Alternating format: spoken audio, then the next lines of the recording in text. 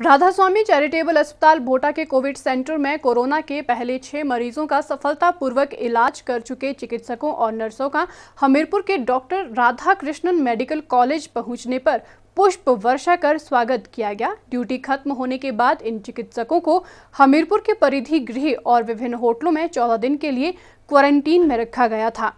राधा स्वामी charitable अस्पताल भोटा के Covid centre में कोरोना के प्रथम छह मरीजों का सफलतापूर्वक इलाज कर चुके चिकित्सक होम क्वारंटीन के बाद वापस अपने कामकाज पर लौटे हैं।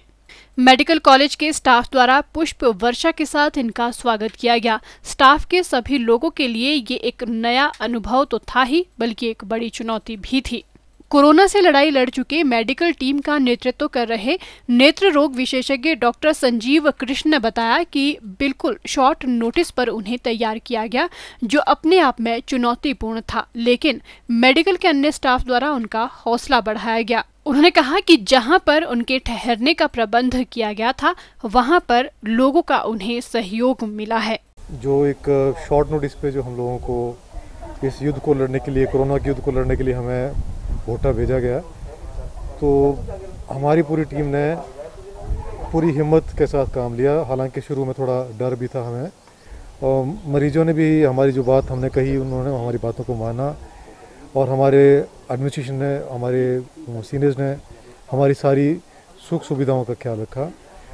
और भोटा का जो होटल हमने बुक किया, उन लोगों ने हमारी काफ़ी बिना डरे हुए, जहाँ हमारे लोग, हमारे हमारे साय से भी दूर भाग रहे तो उन्होंने बिना डरे हमारी सेवा की। हमारे जो क्वारंटाइन सेंटर जैसे कि सर्किट हाउस है और होटल हमीर है और जो भी क्वारंटाइन सेंटर का, उन्होंने भी पूरे हिम्मत रख के हम लोगों को सेवाएँ दी। अपनी चार महीने की बेटी से दूर रहे डॉक्टर सुदेश ने कहा कि वे वीडियो कॉल के माध्यम से अपनी बेटी को देखते थे। अभी घर भी जाकर आए, लेकिन वे अपनी बेटी को गोद में नहीं उठा सके। उन्होंने कहा कि पहले ड्यूटी है और बाद में परिवार है। मेरी बेटी है, वो छोटी सी है, साढ़े चार महीने की है। और मैं तो खैर, उसको रोज़ वीडियो कॉल पे देखता था तो बड़ा मन करता था कि मैं उससे मिलूं जाके। तो खैर, अभी मुझे मौका मिला होम क्वारंटाइन में, जब जब मैं था तो मैं घर गया हूँ। तो चलो, मैं उसको दूर से देख पाया हूँ बट फिर भी एक मन में रह गई ये बात कि मैं उसको खुद अपने बाजू में, हाथों में उठाऊँगा। तो मुझे उम्मीद है कि मतलब जैसे ही मेरे, मुझे मौका मिलेगा, मैं जाऊँगा और मिलूँगा अपनी बेटी से। बट हमारी जो ड्यूटी है वो हमारी ये सबसे पहले आती है। तो हम सबसे पहले अपनी ड्यूटी निभाएँगे और फैमिली जो है वो सेकंड नंबर पे है।